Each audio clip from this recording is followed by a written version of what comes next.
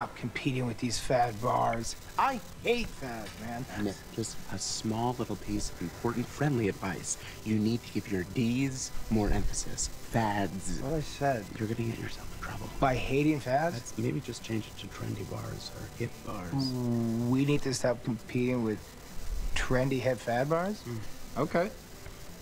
All right. I need a drink.